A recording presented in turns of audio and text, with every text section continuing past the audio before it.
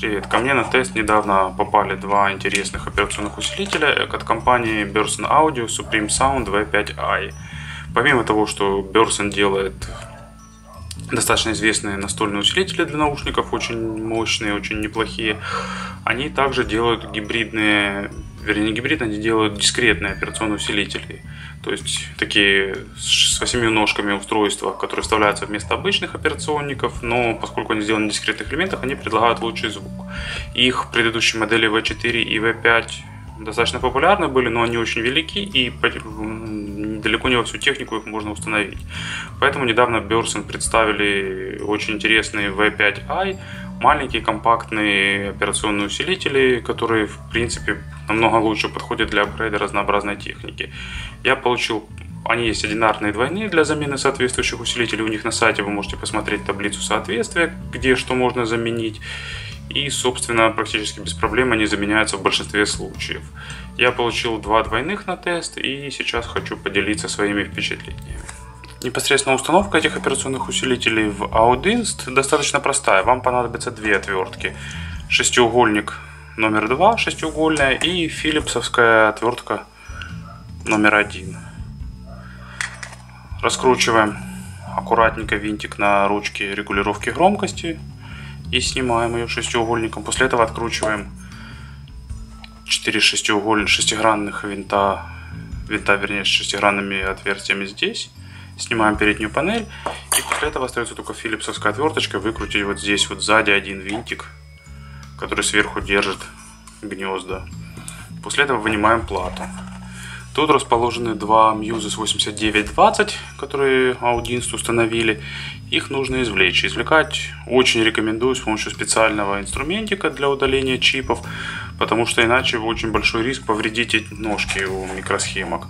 Они очень мягкие, очень гибкие, а цанговые патроны здесь очень хорошо их держат. После извлечения можно устанавливать операционники вот эти вот V5i. Внимательно смотрим на выступы на гнездах и на нижних части и, собственно, разместив правильно ключи, аккуратненько вставляем их и надавливаем очень-очень плавно и осторожно. После этого они садятся сюда как родные.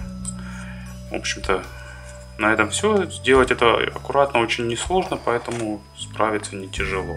По звуку это дает очень хороший апгрейд, особенно вот, скажем, вот этот Audins HDX это просто кандидатура номер один, наверное, для подобной операции. Во-первых, Audins по доброте душевно распаяли внутри гнезда для операционных усилителей, ну а во-вторых, в общем-то, у них очень хорошо реализованный ЦАП в компактном корпусе, который по звуку можно улучшать. То есть основная его проблема в том, что он был слегка такой недостаточно энергичный на низких частотах и тяготеющий к, свет, к яркости, светлости, слишком нейтральности.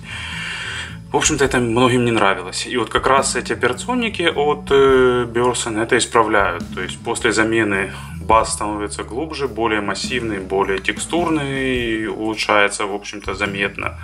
Средние частоты чуть-чуть более эмоциональны, хотя, в общем-то, они становятся менее сухими чуть более эмоциональными. И верхние частоты тоже чуть-чуть подравниваются, они становятся чуть менее яркими. Может быть, это потому, что добавляются низкие частоты, баланси, ну, балансируется это.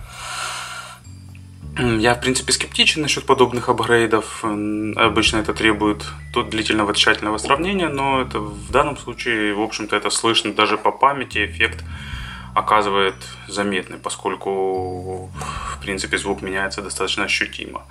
Также, в принципе, я попробовал эти операционники с, с Android Valuk, а, но там их нельзя вставить в сам плеер, поскольку там они не влезают по габаритам, поскольку V5 чуть-чуть выступающие края.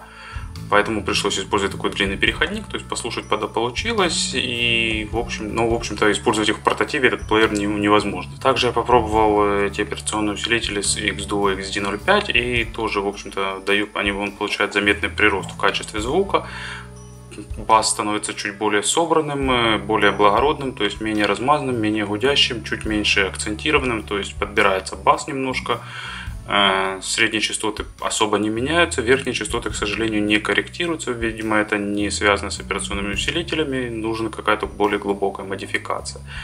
В общем, подводя итоги всего этого, э, V5i очень интересные гибридные операционные усилители, которые позволяют а, проапгрейдить звук во многих, э, во многих, э, во многих усилителях и ЦАПах среднего диапазона.